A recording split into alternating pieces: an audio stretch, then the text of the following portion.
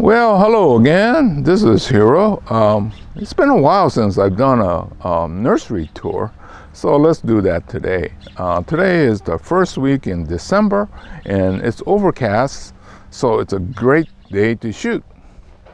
Okay, so what we're looking at is the ginkgo, and they're one of the most uh, consistent uh, fall color plant. This is our Princess Persimmon. Uh, this one fruited very well. I have another one over here that did, but probably next year it'd be very sparse or sometimes nothing. I kept the material area over here and then as we swing Look at that maple.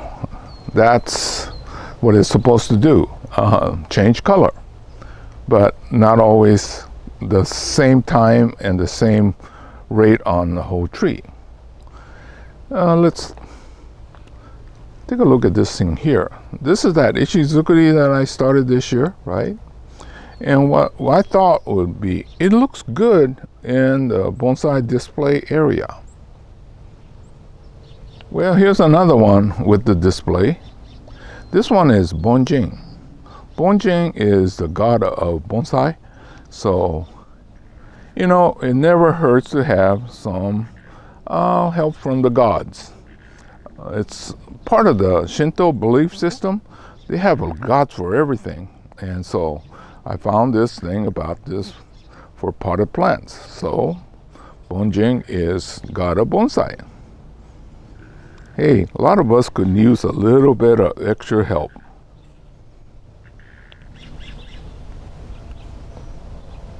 Here's another one. It helps to complement, like my Bonyua. See, the maples is changing. Yeah, I've seen it where it turn maroon, but um, you just never know what's going to happen. Here's a maple that's still in the material state, but that's what we're always hoping for, something that changes spectacular like that. Hey, remember my trip to Montana when I came back? This thing uh, was overgrown, so I pruned it heavy and then it burnt, and so I re replaced it, well, moved it over to here. And look at this color on this thing this year spectacular. Eh, it's kind of lost its shape, but well, I got busy again. Uh, here are some tridents. These are the big ones, and I'm trying to kind of let these grow wild so the big cut that I made has a chance to heal. But it's starting to change color. Whether it'll turn uh, orange and maroon, not sure, but they do have potential to have great uh, color. Uh, this is the material state. And you could tell which one is deciduous. They're the one that's changing color.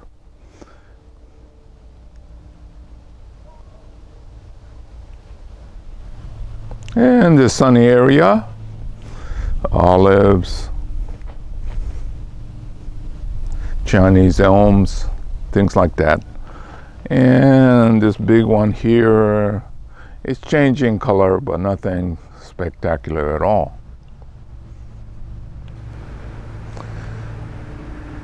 A lot of elms in here, just barely able to contain.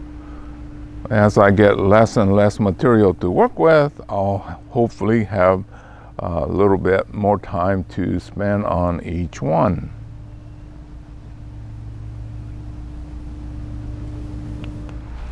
I have quite a few uh, Chinese elms, but they don't all react the same.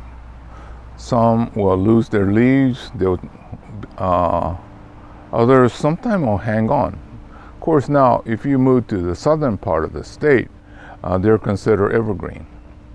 I think in college we learned that these are half evergreen. So we're in this northern half of the California, it's a, uh, deciduous.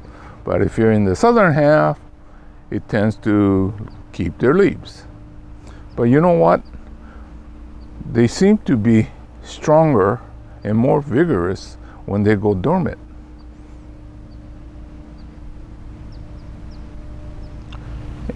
If you want good quality deciduous, shop in the winter. That's when all the leaves are gone, right? And then you could really tell the true quality. Make sure it has movement, taper.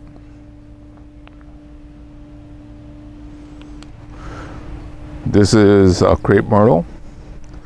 I think I'm gonna have to treat it. Uh, it had a little like black mold looking thing. Uh, uh, the horticulture oil, something like that should take care of it. Here's our Zelkova. It's got a fairly nice color, but uh, I just used the electric clipper method so that you can't see the structure. Uh, that's why I said if you really want something great, uh, shop in the winter. Now, you know this has got a great base, right? But you just don't know what's up on top. But another couple of weeks, you will know for sure.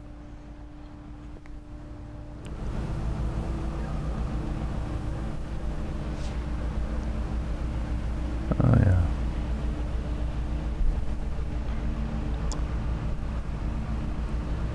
Okay, so you can see all the different uh, Chinese elms and they react differently.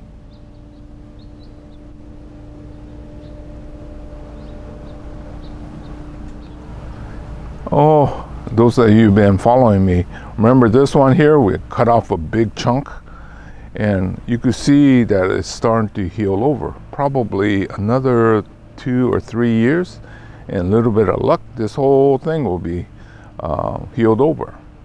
And that's what I try to do is take the time and make sure that it gets to be a good quality for the future rather than rushing it now.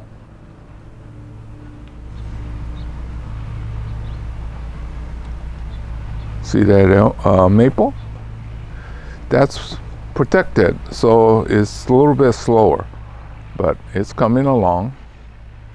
And then you, you know, when you have a bonsai collection, you want a mixture of evergreen and deciduous, so that if you like deciduous, your winter is going to be a bunch of naked trees. And if you only like evergreens, uh, like junipers and pines and things like that, you don't get to enjoy the fall color. Oh yeah, well those of you that are in the tropics, like maybe Hawaii, I think you have a tough time enjoying the fall color uh, because it doesn't get cold enough. Oh, this is the liquidambar that I did the split it was it got too big so oh god what three years ago i guess? Uh, well that's half of it. Now this one is in the protected area with a 50% shade so it still has foliage. The other one in full sun well i moved it out uh, as it started to get cooler. In the summer it was uh, protected.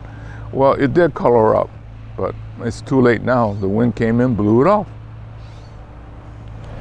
Yeah, I was saying the ginkgos uh, give you the most consistent coloring of all the plants, deciduous plants. But another week and or another wind or one good wind and then it's all gone. Here's our, well, multiple air layering boxwood. I've been checking and I still not sure if it's rooted in or not. It's uh, taking a little longer, huh? So I still got these materials that this whole area got pruned at least three times last year or this year and it keeps coming back. So, well, I'll check on the boxwoods probably as it starts to warm up in the spring.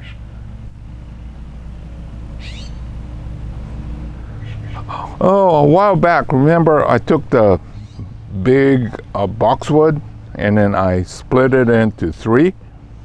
Well, looks like they're all coming back. Uh, probably will not do anything next year. This one here needs to be recut and carved. I'll bring out my carving tool and then cut it so that it's a smooth transition. But the, the carving process shakes the root, so if the root is just barely getting started and I get started on working on that, it'll damage and then it could still die. So yes, it's going to stay in this well protected area and then you'll come out into uh, more of a normal area and then I'll get started. Oh, before leaving for Montana, I kept worrying about things dying when I'm gone. Well, this one here died after I came back. I forgot to check. Well, I thought I was checking the uh, emitters, the automated watering system. So when I came back from Montana, I checked and it looked fine. Well, unfortunately, the part that was in the pot was okay, but it had uh, broken loose from the main line. So yes, whether I'm here or gone, eh, occasionally you lose one or two. Well, the reason it's here is sometimes I've seen them come back. Uh, well, it's been a half a year. I don't think it's coming back. Remember this one here? Oh, my, I think it was last year. My grandkids were here and we were uh, talking about fire suppression, cleaning out some of the areas so that uh, the fire doesn't go up the tree. Well, this is a ume uh, seedling that was underneath. So we dug it out and it has survived. Most of the time they do, but it is too tall. Straight trunk, uh, no taper. Of course not, because it was in the shady area and fighting for the sunlight. So I started pulling these lower trunk and I'm thinking of maybe cutting it down about where that first branch that gets pulled down, right? Anyway, or the other way is if I could get enough suckers down below, I could get use those as sacrifice branch and get some taper on it. Anyway, I thought I'd show you uh, this. Boy look at this one here. Not only did it survive it's thriving. It's gonna have to take a another big cut in this to get to the next stage. So as I shoot this video I still see a whole lot of work yet. And although I am reducing inventory I wish I could reduce my inventory faster any of you out there want to start a bonsai nursery and need good inventory, come and talk to me. Let's make a deal. Oh, here's another one of the air layering in progress. And the big juniper over there having problems uh, air layering and our famous one in a dozen. Okay, so anyway, this is Hiro saying goodbye. I'll see you again real soon in another chapter. So this has been a kind of a, a tour of the nursery. We haven't done it for a while. Okay, take care everybody. We'll see you again next year.